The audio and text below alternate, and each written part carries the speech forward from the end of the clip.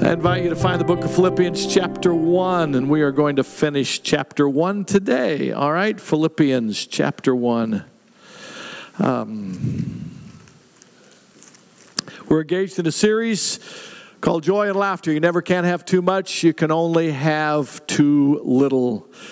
We have been investigating the book of Philippians because it is the book of joy out of the scriptures. It talks about it in every chapter. It's the main thrust that Paul wanted to emphasize the church at Philippi. And as we have said every week, the added thrust of joy in this book is that Paul wrote these words while incarcerated in Rome. He didn't write this from a cruise ship or a penthouse.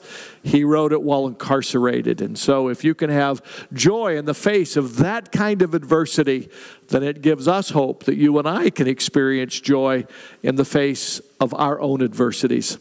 As Paul opens up chapter one, he sort of sets a framework of, of, of what he wants to say to, uh, to his friends and the members of the church at Philippi. And he basically starts out with what's necessary in order for you and I to experience joy in adversity as not only an individual child of God, but also as a member of his family called the church. And Paul lets them know in those first few verses what those key ingredients are. He says, I have you in mind. He says, I have you in my heart. And he says, I have you in my prayers. That's essential for a church family. It's essential for us individually, it's critical for us collectively. It's, it's, I know a lot of times you think the reason for the bulletin is so you can know uh, what's going to happen in church today. Well, do you realize in this bulletin it's that much that's going to happen in church today? Everything else in here is about how you can engage with the family and the community of God and I think for me, the most important section is this page right here, which has prayer requests. And then if you'll see up here where you could be taking sermon notes, obviously I'm not going to say much, they only gave you six lines. but it's a great place to do the add ons that I share on Sunday mornings that we find out more about from the time it's printed here. This is of most value because this is what enables you to keep each other in mind, in heart, and in your prayers. This is what connects us. It's one of those things that connects us together. Paul then goes on to talk about a variety of things, but where we've been these last, um, these last few verses are those prerequisites to experiencing joy in the face of adversity. We've also discovered who we are in Jesus Christ because Paul talks a lot about this in chapter 1. I, I asked third service last week, I asked first service this week. I got very disappointing answers. I'm not expecting more from you all today. but I'll ask you all in this service. How many of you have Googled who I Am in Christ by Neil Anderson since I talked about it two weeks ago. One, two, yo, looky there, six in this, or seven in this service. All right, that uh, doubles the other two services combined. All right, so you all get the award today. Uh, uh, yes, I could copy this and have it available and hand it out to you, but that's kind of like still spoon feeding you. So I'm going to challenge you one more week. It's easy to do. Unless you don't have a computer or don't Google it all, then call me and I'll print you a copy. But if you have access, Google Who I Am in Christ by Neil Anderson. It's one page. You ought to put that in the flyleaf of your Bible, take another one, put it up somewhere on a mirror where you can see it on a daily basis until you know those truths inside and out on that singular page, Neil Anderson has done a great job of telling us who we are in Christ. And it starts out with, I am accepted in Christ. And there's about eight passages of Scripture and what you and I can know about our acceptance in Christ. The middle part of that page is, I am secure in Christ. And again, about a dozen Scripture verses with it where that security, how that security in Christ impacts us in life life. And then the last portion of that page is I am significant in Christ. And it outlines our significance. I am salt. I am light. I am a branch of the true vine. I am God's temple. I am God's ambassador. I can do all things through Christ. And it gives you the scripture verse. And the things on that page, if you can arm yourselves with that one page, what a difference it will make in the way in which you live your Christian life. It's, it's an easy way to get the most essential truths in your mind and in your hearts and in your prayers. So, one more time Who I Am in Christ by Neil Anderson. It will pop up right away, all right? And so then we began to look at the three priorities, all right, for victory in a life of adversity. And uh, last week we looked at being consistent, all right? And um, last week we talked a little bit about being consistent. Three very simple things. And, and these, these are simple, but they're essential, and it's why I'm reiterating them again today.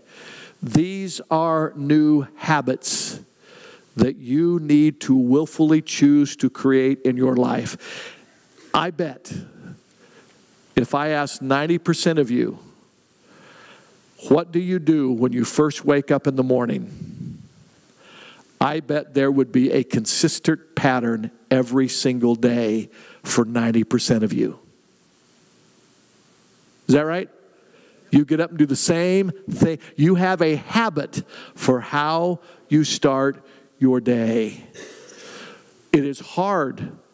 And, and it's not that what you're doing right now is a bad habit, but maybe you don't think you have room for a good habit. But when we need to add a good habit into our life, it has to be willful and thoughtful. And we sometimes need accountability, all right, to help us out. Um, how many of you take vitamins or medication on a daily basis? Okay, vast majority of us. Okay, all right. Here's here's the deal. I, uh, up up until just uh, very very recently, I, I was I was free of medication. All right, I take a few now, and so I, I can't believe that I've reached the age where I have a pill box. Any of you all have a pill box? Oh, okay. All right. Yeah, it's, it's Sunday, Monday, Tuesday, Wednesday. Okay. And, and when I first started doing this, I had my little bottles, which is a combination of vitamins and one, one medication. And, and I had them all lined up in the pantry. And, and, and you know what? Sometimes I never opened the pantry door in the mornings. Wasn't my habit. And so I got to where I, I, I, bought the pill box and I put them in and I set them in the middle of the counter that I couldn't help but see when I go to make my first habit of the day my cup of coffee. And so I would set them out at night. And before we would go to bed, Shelly would see the pill box out on the counter and she would put them away. because that's her habit, all right? Clean, clean. And so I had to, and so we had to have a little conversation, all right? So that until this became an ingrained habit for me, all right, I needed, I needed something, I had to work at creating a new habit. If if you have high blood pressure, and it's been diagnosed by your doctor, and he says, if you take this little tiny pill once a day, it will keep your blood pressure under control, your heart healthier, and you will live longer. What would you do? You would create a new habit, right? You would take that pill. You would get the prescription. You would go to the effort to go to the farm. You would do the steps necessary because it is good for you. There are three new habits every single one of us as believers in Christ need to have in our life. And the promise is greater than a blood pressure pill. The benefits are eternal. They are present and eternal, but they are essential. If you just buy the prescription and put it on the counter and never take it, does it help you? Same thing is true with a Bible. Just buying one, just getting one free from the welcome cart, it won't help you. Three consistent habits need to be developed. Number one, you must be consistent in Bible reading and Bible study. You must be, or you will always be a weak, anemic Christian, moved more by your emotions than you will be by truth.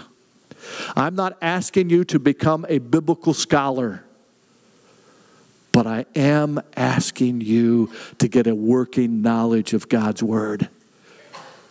Know that Genesis is in the Old Testament and John is in the New Testament. Put some Bible verses in your head, even if you can't remember the address. For God so loved the world that he gave his only begotten Son. All things work together for good to those who love the Lord and are called according to his purpose. For by grace are you saved through faith, not of works. It is a gift that comes from God. The Lord is my shepherd. I shall not want.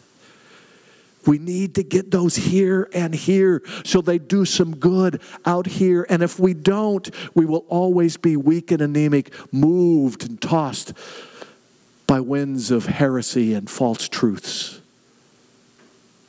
It's essential. Want a couple of suggestions if you don't know where to start? How about starting with a daily devotional? I'll recommend two My Utmost for His Highest. It's the all time classic. I think it's, it, it may be the singular best daily devotional that's ever been written.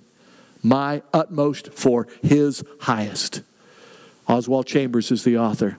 Uh, Jesus Calling, another really, really good, good daily devotional. Written by Sarah. Sarah, yeah, thank you. What's the last name? Young. Young. Okay, Sarah Young.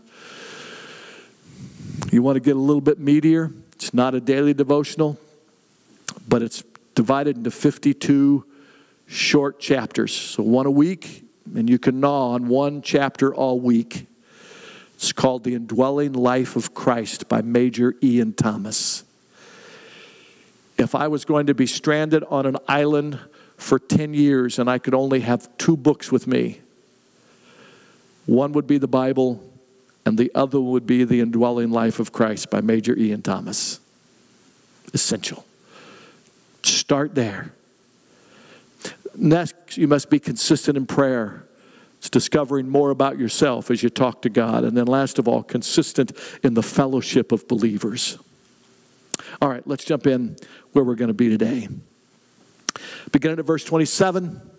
Whatever happens, that's anything that happens, conduct yourselves in a manner worthy of the gospel of Christ. Then, whether I come and see you later or only hear about you in my absence, I will know that you stand firm in one spirit, contending as one person. So he's talking now to the whole church at Philippi. As a group, I want you to move as one without being frightened in any way by those who oppose you or those things that confront you. This is a sign to them that they will be destroyed, but you will be saved. And that by God. Not by your own ingenuity, not by your force of character or personality. The salvation comes from God Himself. For it has been granted to you on behalf of Christ, not only to believe on Him, but to suffer for Him. We don't like that part. Since you are going through the same struggle you saw I had, and now here, that I still have. What does God want from us? Uh, there were three wealthy sons. They had all grown up, been raised by their mother, loved her very much. They all grew up to be very, very successful men. Her birthday was rolling around, and these three brothers always tried to one up each other for their mother's birthday presents. This year, the oldest son said to his two brothers, I got you both beat. I bought mom a brand new two story home, bigger and better than anything she could have ever hoped or imagined for. And the second one said, Well, older brother, you may have done good, but you know what? I bought mom a brand new Rolls Royce and I have provided a chauffeur for her. Be here for her beck and call 24 7. And the third son said, I've got you both beat. You know how much mom loves God's word and her vision is going bad and she can't read much anymore? I bought mom a parrot that was trained at a monastery that can quote every verse of the Bible. I had to commit $100,000 a year for the next 10 years to that monastery, but mom, all she has to do is give book, chapter, and verse, and that parrot will quote the scripture to her. After they gave mom their gifts, a week passed, and mom sent each of them a thank you note. She wrote to her older son, Son, that house you gave me is too big. I don't have time to clean it all. She wrote to her second son, Son, that car you gave me just sits in the garage. I don't ever go anywhere, and that driver, he eats me out of house and home, and he's just downright rude. to the baby boys who always know what's right to do, for those of you who don't know, I am the baby son, all right? And to her, she wrote these words. She wrote to him these words Son, you just know what a mother likes. The chicken was delicious. So, so Remember, this is on joy and laughter, all right? So we had to get a little laughter to get some joy. So the question is Do we know and understand what the Father likes?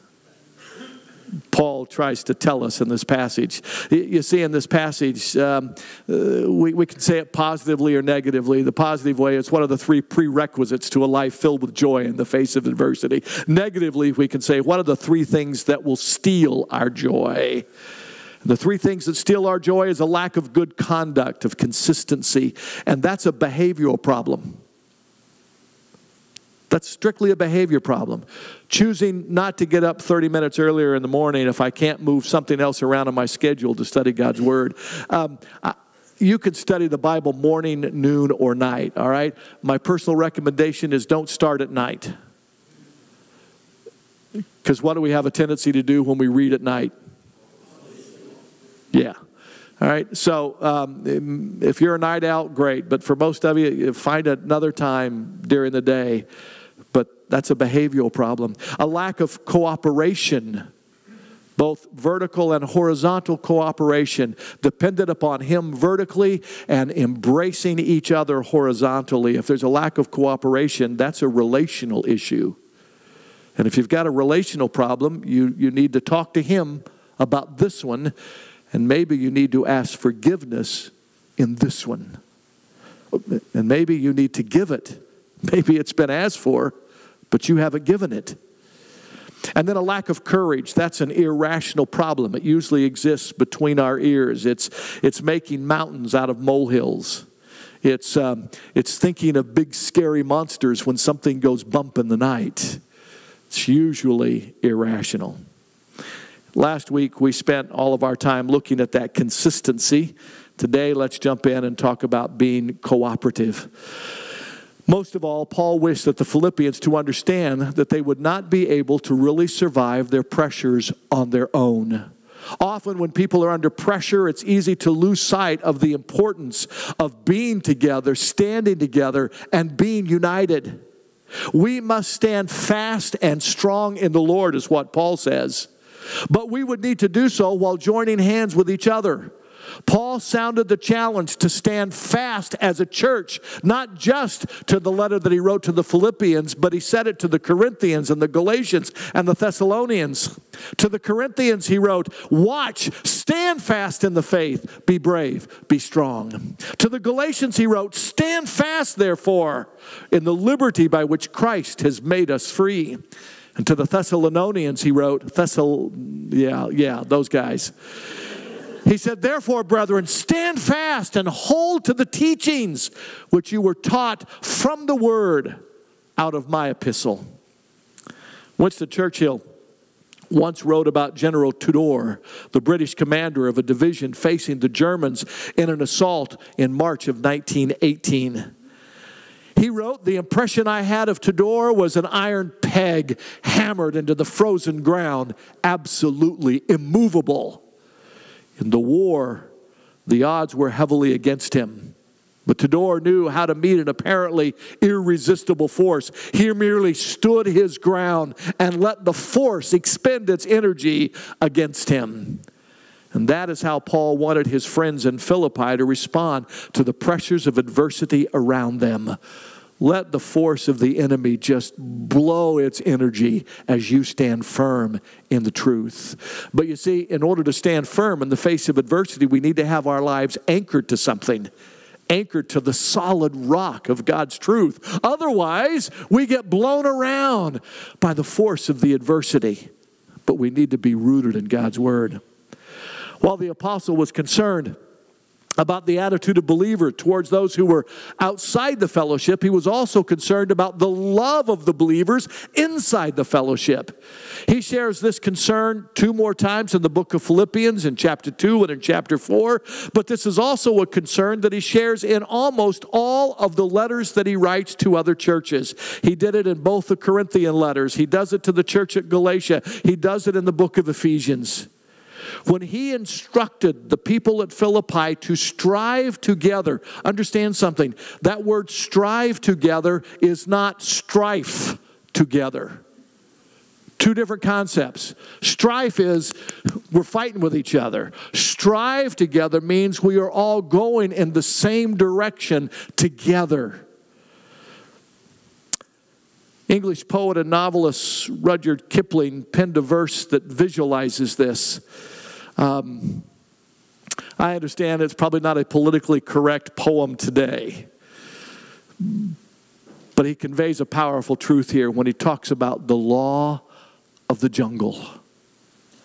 Now, this is the law of the jungle, as old and as true as the sky. And the wolf that keeps it may prosper, and the wolf that shall break it must die. As the creeper that girds the tree trunk, the law runneth forward and back. And the strength of the pack is the wolf. And the strength of the wolf is the pack. Kipling was on to something. You might not like the idea of being compared to a wolf or a pack, but the visual is right on the target. You see, when it comes to standing for truth in times of pressure, the law of the jungle must be in force. For the strength of the church is each Christian. And the strength of the Christian is the church. You and I are not intended to be lone ranger Christians. You see, one of Satan's favorite tactics is to divide and conquer. He knows that if he gets us fighting amongst ourselves within the church, then the church is weakened and made ineffective in their ability to communicate the love and the grace of the gospel of Jesus Christ. Last week I played an old song for you. I could have played this old song this week, but I got something else to show you in a minute. But, but do you all remember uh, a group called the Brotherhood of Man in the 70s? They were a one hit wonder. And I'm going to give you the one hit wonder. You'll remember it when I give you the words For united we stand, divided we fall. And if our backs are ever against the wall, we will be together. Together. You and I. Interesting. Paul wrote that song thousands of years before the Brotherhood of Man did. It is together. With this in mind, Paul called for unity, togetherness, and cooperation. We are to be inseparable. Just as in a vertical relationship, Jesus says to us, I will never leave you nor forsake you. We are inseparable with Him. When this vertical relationship is in force, then it ought to also impact our horizontal relationships. And you and I ought to be together as inseparable because we are bound with Jesus Christ. He calls for us to stand firm in this one spirit. And then he envisioned them so unified that they would move and contend as if they were just one person. When we are truly working as a team, there is power and synchronization. How you like that? Synchronization. That's a two bit word, man. I don't know if we fully appreciate what Paul's talking about here. I'm going to have them play um, my least favorite Olympic sport. And though it is my least favorite Olympic sport, I watch it almost every year because I'm amazed at how they work together. Maybe better than any other team sport in Olympic history. Let's watch it.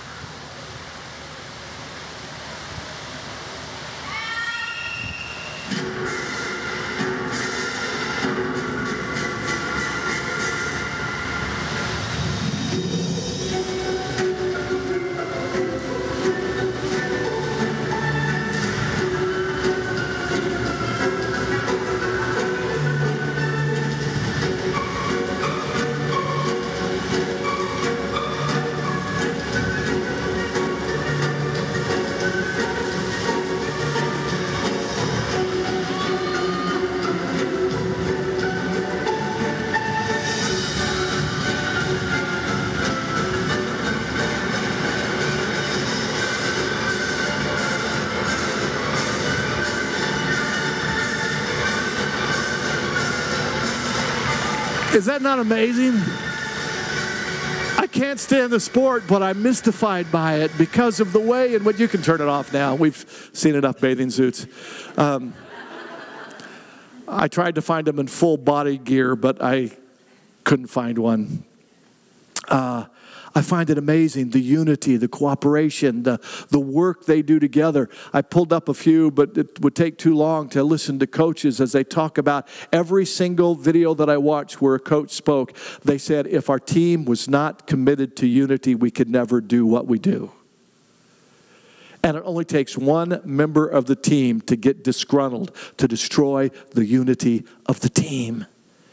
It's amazing. And that's exactly what Paul was talking about. The church needs to contend as one. Perhaps Paul did not have synchronized swimming in mind when he wrote this. Maybe he envisioned an illustration from Roman warfare. The Roman legions were renowned for their iron discipline. Often, when under attack, they would draw very close together in one small unit, raise their large shields, and advance together as an impenetrable wall that was called the Roman wedge. It takes both skill and cooperation to advance and walk together without creating a gap where somebody could be hurt. For the church to be effective in any time or circumstance, we must live, work, and function as the family of God, willing to cooperate with each other. Let me illustrate. Fawn is going to New York this week to visit her brother, who is pastoring the church that their father started decades ago. Isn't that cool? Now, I think an appropriate team effort would be if she would send me the tickets for the Yankee baseball game that she's going to be attending. That would be working and cooperating together. send me pictures. Just send me pictures. That's all I ask, all right? Of Aaron Judge hitting a home run, all right? I just had to work that in somehow. Let's let the world be the place where people quarrel and fight and divide. Because, by the way, they're doing a really, really good job of it right now. So let, us let that take place in the world. But let's, let's let the family of God, the church, be a place where we contend as one in the world. So, as citizens of heaven, Paul commands that we walk worthy of the manner by walking constantly and consistently and cooperatively together. And then, last of all, in this passage, Paul talks about being courageous and confident. Verse 28 without being frightened in any way by those or those things which oppose you. Not to be frightened in any way.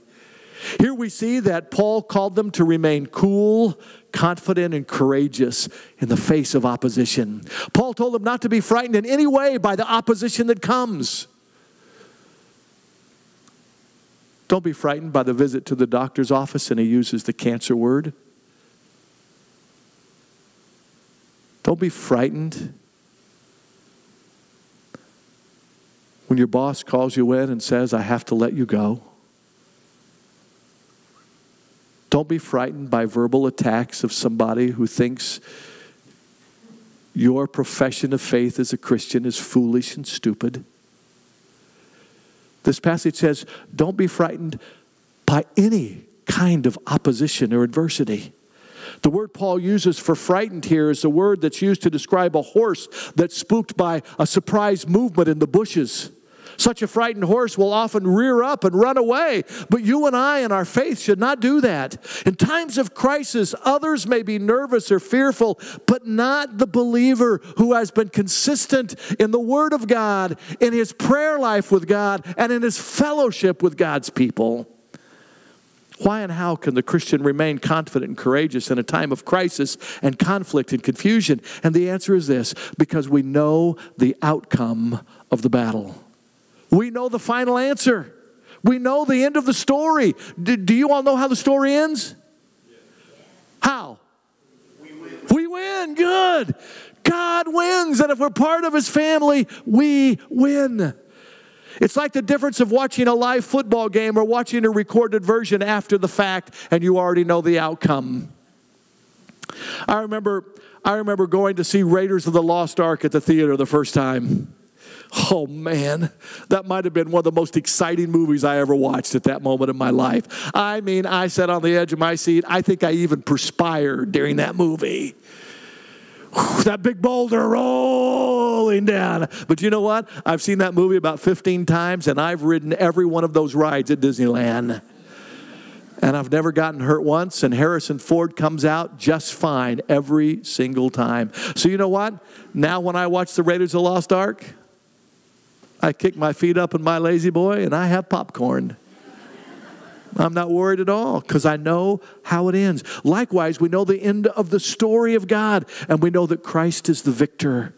Our own personal story, yes, it's still being written, but if something should happen to us, we know where we're going, right? It's heaven. It's better than where we're leaving. Paul explained that when we live with confidence and courage, then we become a sign to those who don't believe. When an unbeliever sees our confidence is in Christ and our courage comes from Christ in the face of difficulty, crisis, suffering, and confusion, then they realize that we possess something that they would love to have and that they can have. When they see peace that passes understanding, when they see joy beyond human expression, when they see contentment in what? The good, pleasant things of life? No, Paul said, in each and every situation, when our friends, neighbors, and strangers see that in us, in the waiting rooms of our life, they say, How do you do that? And you tell them, I don't, but Jesus does. I know the end of the story. Do you remember how amazed and perplexed Pilate was at the calm confidence of Jesus during his arrest and interrogation? When we know that we stand with God and we know where we're going, we can be calm and confident in the face of all adversity. Jesus said in John 14, right before his first week on worst week on earth, he said, "Don't let your hearts be troubled. Trust in God, trust also in me." Jesus promises to those who trust that they will have a peace that passes understanding. Many times in life, human understanding fails us. We do not see as God sees, but we can trust Jesus. And when we do, He gives us perfect peace peace in the midst of pain, peace in the midst of grief, peace when things go bump in the night. You see, we were inwardly fashioned for faith, not fear. Fear is not the native land of, uh, uh, uh, of our lives, faith is. We are made so that fear, worry, and anxiety are like pouring sand in the machinery of life and it grinds to a halt. But faith is the oil that get things working properly. We live better by faith and confidence than we do by fear, doubt, and anxiety. God made us that way, wired us to live by faith, not fear. Paul wanted the Philippians and us to be prepared for opposition. If no one ever criticizes or opposes us in life, if we never make waves because of our faith, if everyone is happy with our Christian faith, then perhaps there might be a little something off with our expression of our life in Christ. Or there is something wrong with their understanding of what faith is supposed to look like. You see, those who walk worthy of the gospel, on occasions, we're going to annoy people. Now, I'm not asking you to become annoying, but sometimes to have peace in the midst of problems will annoy people. To have hope in the midst of despair will aggravate folks because it stands as a rebuke of everything that they live for. You see, when we say that Jesus is the only way, the only truth, the only life, folks call us arrogant. When we say that the Bible is the Word of God and it's inerrant and it is to be our direction for life and living, they call us ignorant. When we dare to say such things like sex outside of marriage is sinful, they call us narrow minded and judgmental bigots. And so it will go on and on. We will annoy and aggravate the world precisely because we are citizens of heaven and we live by different principles. And that should enhance our joy according to the scriptures. In the book of Acts, chapter 5, after a group of folks had been arrested and stood before the council of the community, the scripture says in verse 41, chapter 5, book of Acts, so they departed from the presence of the council, rejoicing that they were counted worthy to suffer for the name of Jesus. Jesus himself said in Matthew 5 and that, that Sermon on the Mount, Blessed are those who are persecuted for righteousness' sake, for theirs is the kingdom of heaven. Blessed are you when they revile and persecute you and say all kinds of evil against you falsely for my sake. Jesus says, Rejoice and be exceedingly glad, for great is your reward in heaven for so they persecuted the prophets who were before you. You see, opposition is common. The word for conflict here is the word we get agony from. And Paul is saying that we share the agony of persecution together. There was someone else in it with us. So, Paul's advice for us is this don't be afraid, keep on speaking and living Christ. People may not like our lives or our message, but we can't let that stop us or shape us.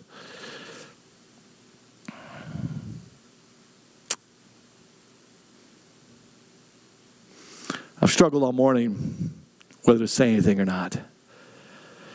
Um, but, but this principle right here is.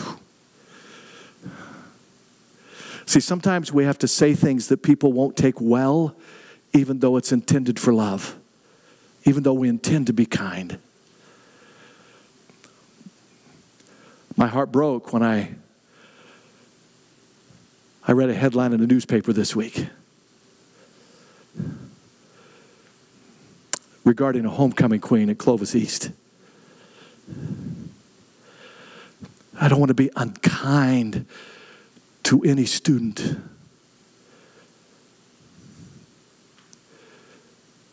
Folks, we, we, we have gotten to a place where that which God says is ungodly is now acceptable. And to say anything openly is to be unkind and judgmental. Guys, I'm judging no one's eternal place in heaven. Only God can do that. But God tells us that actions and behavior, He says in the church, when you see a brother or sister messing up, you go to them. Is that judgment? It depends on which way you want to use the word judgment. It's not the same judgment as saying somebody's eternally damned. But God says when somebody behaves in a manner in the church that isn't Christ like, we are to go to them. There is some judgment on behavior that requires some conversation and some discipline. You and I are to be salt and light in a community. And somehow, and I don't have all the answers to it, we got to figure out how to not compromise the Word of God and still let people know they're loved. And sometimes they'll ignore the love because they want their own ways. We've allowed our culture somehow to shape us, and even us in the pulpit, we, we, we, we allow it to shape because we don't want to, we fear rather than be faithful. We're fearful of what others may think, and we don't get a full explanation. All we get is sound bites. But we must live by faith, and we must, guys, do this together. Paul told them they had been called not only to believe in Jesus, but to suffer for him by their expression of biblical truth in this world. Paul certainly practiced what he preached. Let me wrap this up. Whatever our circumstances, whether good or bad, whether easy or difficult, we must conduct ourselves in a manner that is worthy of the gospel, the good news of Christ. Not human accolades, but worthy of the gospel of Christ. That we are citizens of heaven. And this includes the three things we've discussed these last couple of weeks. First, worthy conduct includes being consistent creating those good, healthy habits that enable us to stand firm and persevere in the pressures of the world. Secondly, worthy conduct includes being cooperative, being unified, and working together, inseparable as a team. And third, worthy conduct includes being confident, calm, and courageous. But none of this is possible unless we draw on our identity and we act on our identity. That is why it's important. Download Neil Anderson's Who I Am in Christ. Winston Churchill's speech to the British on the brink of facing the Germans. He said, The Battle of France is over, and I expect the Battle of Britain is about to begin. Upon this battle depends the survival of Christian civilization. The whole fury and might of the enemy must very soon be turned on us. Hitler knows he will have to break us on this island or he will lose the war. Let us therefore brace ourselves together to our duties and so bear ourselves that if the British Empire and the Commonwealth will last for a thousand more years, men will say, This has been our finest hour. And as you and I face the adversity that comes against us, whether individually or collectively, may the world look and say, hey, for that believer, this was their finest hour. But here's what's essential. Do you remember, um, do you remember that little lion in The Lion King? Wasn't it Simba? Remember Simba? Remember towards the end of the movie, he's scared, and his buddy the baboon comes by and what was the advice of the baboon? The baboon said to Simba, You are scared because you forgot who you were. Simba, you're scared because you have forgotten who is your father. And I say to you today, and I say to myself, if we are scared today in the face of the adversity that confronts us, then I suggest to you it's because we have forgotten who is our Father. So let's close in prayer. And if you are uncertain that you have a relationship with Jesus Christ that enables God to be your Father, then why don't you make certain of that in this closing prayer this morning? Don't let any uncertainty or doubt keep you fearful if you are certain who your father is, but you're living like you forgot, then admit that to God. He will not punish you, but He will bring to you His peace, His joy, and His presence. Our Father, thank you that you have an ear bent towards this service today, as you always do. The scripture says you are looking, looking, looking, looking around this world for any man, woman, boy, or girl whose heart is turned towards you. And just as the prodigal father in the story of the prodigal son runs to his child, you run to us today. As you hear that prayer, Lord, I'm not sure that I'm your child, so today I'm making sure. No special formalized prayer, just an honest confession of the heart God, I want you. God, I need you. God, I can't do this on my own. Thank you for hearing that prayer. Lord, for others in this fellowship, who most of them I know are already Christians, but maybe they've been living as if they forgot who was their father. Thank you for your grace that runs and floods into their heart at this very moment. You don't come to punish us for our forgetfulness, but you come to restore joy, peace, and contentment. Thank you for hearing our prayers. In Jesus' name, Amen. Amen. Have a good day.